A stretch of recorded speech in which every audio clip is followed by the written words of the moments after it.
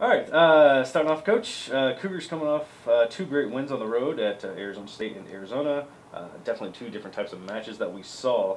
Uh, pretty much how they played out, but I mean, just kind of talk a little bit about you know sweeping Arizona State 3-0 and then kind of having to come back a little bit against Arizona there. Yeah, you're right. First of all, to get two wins on the road is um, fantastic. Anytime and any way you can get it, we'll take it. But yeah, I thought we played really pretty clean against Arizona State, um, and it's great to get that you know 3-0 victory. We were down in the second set um, by quite a bit, and we were able to go on a run and come back and get ourselves back in that set and take it. Um, so that's big.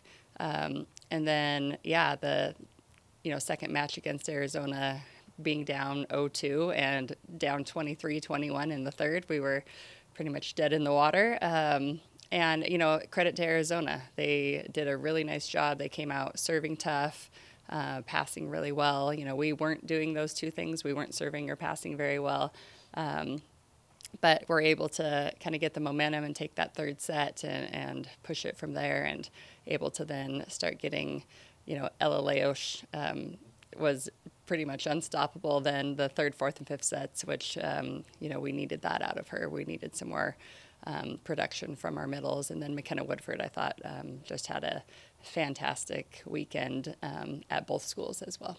And, you know, speaking of McKenna, you know, surpassing the 1,000 kill mark uh, at Arizona in her home state, uh, you know, 15th player in Washington State volleyball history to do so. Uh, also joins teammate Taylor Mims. I mean, first time that's really ever happened to have two players that hit the 1,000 career milestone. Uh, I mean, what can you say just I mean, we've talked about McKenna so far this year, but you know, as far as maybe how she's progressed as a player, and especially how well she's been playing these past few weeks. Yeah, um, a huge congratulations to McKenna to get that milestone, especially being hurt last year. Um, just her recovery and her her work ethic, especially.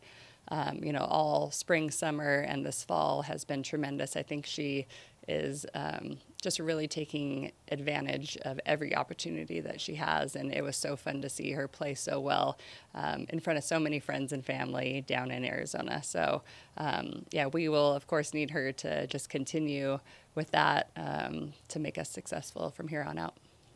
And then, uh, you know, four match winning streak right now, three of those against ranked opponents in the Pac 12. I mean, what have you and your staff kind of seen over the past two weeks that's really clicking and working well for this team? Yeah, I, I think. Um, you know, every match of, of those four matches has been a little bit different. You know, one match we, um, you know, passed well and played defense. One match we blocked extremely well. Another match we served well.